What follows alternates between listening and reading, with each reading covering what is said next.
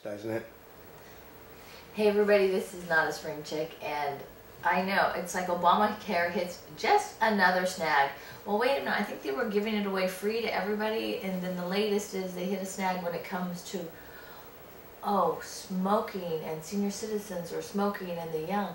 Well, you know, I think some of those little kinks come into play because oh wait a minute, just sign for it and we'll fill in the blanks later, right? I think part of it is because of that. And of course, in San Francisco, they're always finding out new details on, yes, what happened with the crash landing. Well, for now, we're going to bring on Kemal with comments on the headlines of today.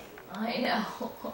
and it's all over for the Republicans. Well, they said that the Republicans are just living in a pipe dream if they think that, that they can get uh, the Latinos to vote for them unless they give them, unless they give them a path to citizenship first and then they get, you know, well, they, they said, um, this is what one of the people said. He said that they have told Boehner that if he wants to be a member of the Democratic Party, to switch parties because the Republicans, you, there, there's 38 people in the House of Representatives that if the President of the United States says, I need my butt kissed, will run to do it immediately in a speaker. He's, this is his last time as speaker. They will not reelect him the next time. Yeah. But they said that uh, you must give them a path to citizenship. We will accept nothing else. And the guy said this morning, this is what we always knew what it was about. It never had anything to do with border security, had nothing to do with fixing the immigration system. The only thing that they are demanding, set in stone, is the path to citizenship. Mm -hmm. Everything else is negotiable, but that. And that's the one thing that's not negotiable with anybody. Okay, the independents say, no, fix the problem first, then that. The, uh, the half the Democratic Party, said, actually 67% say fix the problem first, then path. And 90% of the Republicans fix the problem first. So the Democrats are on the wrong side of the issue. And uh, here's one too. You know what? Flea says, he said, if the Republicans do nothing, will it cost them one more vote than they lost the last time? No. Won't make any difference. They weren't getting the votes anyway. And they're going to start putting candidates up there that speak Latin, speak Spanish, and the Democrats don't have any. The Democrats all are from the east and the north all the time. They don't put up candidates to deal with the Latino problem. Mm. So they don't speak the language. They know hablar español. Oh, did, when you insult me in public, you realize I actually understand what you're saying? Mm. And the White House economy is growing slower than forecast. Yeah, you wouldn't believe it, but the market today, this market is just going wild on the news that the Chinese are paying twice as much for houses as anybody else, which is driving the driving the sales of houses up. The loans aren't the loans aren't going up uh, because the banks say we have no interest in anybody borrowing money because they can't fit the rules. So they're selling houses for cash. I love this. The average, is the average, the average Chinese person will pay two hundred and fifty thousand dollars more for a home than the home is listed for sale at, which means it's it's they're, they're parking their money from China in houses here, mm -hmm. and they figure that, that if they push the price of the houses up, then they'll be able to make a, a they'll be able to make part of what they uh, were investing in those homes back. Yeah, by and if you have a bunch of them all overpaying, yep. then guess what they're doing? Yeah pushing they're, the market they're, up. They're artificially inflating a market. And, pro and Obama provision delayed. Oh God, the guy is this. They said that they absolutely know. Okay, they have demanded that this is the uh, House uh, House subcommittee on um, um, the, their uh, what is it, the one that deals with corruption in government has basically demanded Obama explain to them all of this stuff that he is doing first of which is totally against the law. Only Congress can change the law. The President has decided, well, we're going to change the way things are being done on his own. The House basically said, no, we're just not going to give you the money to do it. So, he, so he's going to he's going to respond back. No, this isn't political. And yes, I have the authority under executive orders. Well, an executive order only has to deal with people uh, with federal things the health care law is actually designed for state state rollout so that he has no authority to order anything on his own except for federal if you do business with the federal government yeah if you're a person that basically uh, is, is 90 years old, lives in your own home, doesn't know anything of the government. He can't tell you what to do, period. And protests hit Brazil miss chance to improve services. Well, they have, they're not going to, to get the services improved because they're being thrown out of their homes for the Olympic Games. Everyone is being moved out just like in China.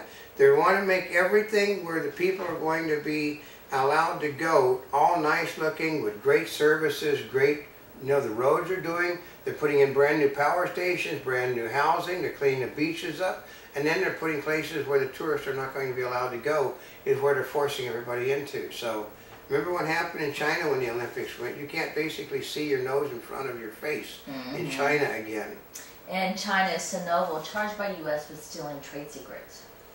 Well, yeah, but that isn't going to work because, um, okay, there are all these people, well, everybody does it, so I'm going to go. Flea said, tell him my line, which I was there on the set when when Lee Marvin said it to Charles Bronson, when Charles Bronson said, yeah, but he deserved what he got.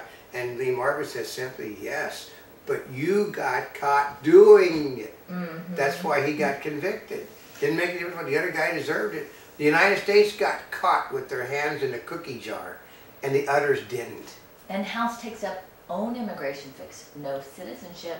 That's not going to happen. They're going to give, uh, they said they're if the way it works is that if you were born in this country, you're going to be allowed to be a citizen. If you weren't born in this country, they said you've got to go to the back end of the back of the line and pay and pay fines. They're going to. As one guy said, he said he just simply said to the this Latin guy. I loved it last night. he said, "You're a lawyer, yes."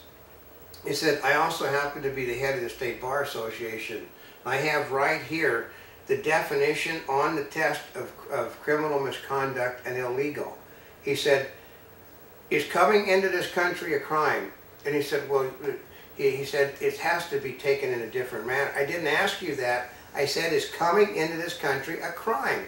He said, uh, according to the bar test, yes. He said, is non-payment of federal income taxes a crime? Yes. Is, is illegally obtaining a social security card a crime? Yes. Is having, uh, falsifying employment records a crime? Yes. And he said, in other words, every single illegal is here illegally and they are committing crimes, are they not? And he said, yes.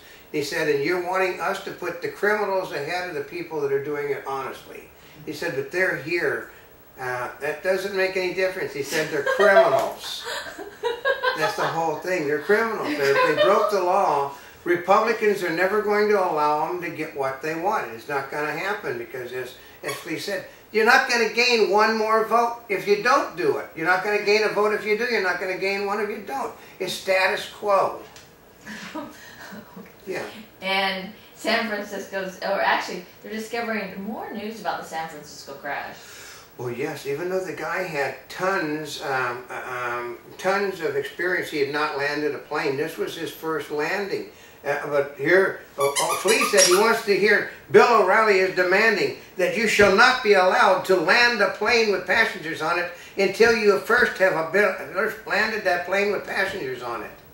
Which means what happens is, folks, here's the plane. The guy said, Bill O'Reilly has said I can't land this plane because I've never landed a plane with passengers on it before, so we're just going to fly around and around and around, mm -hmm. and then the plane is going to crash because we're doing what Bill O'Reilly has ordered us to do. It's all over television today. These idiots, are a-holes, as you might call them, are demanding that pilots shall not be allowed to land planes until they have first landed a plane with passengers on it, which can't be done. And Obama pushes government technology upgrade. Oh yeah, in order to save money, he's going to tech. He's going to uh, he's going to add tech, more technology Oh, this is, and it, he's going to spend $100 billion on technology upgrades in order to save money, which is going to happen. But here's one this morning. You know why a lot of Obamacare's things are not being pushed through?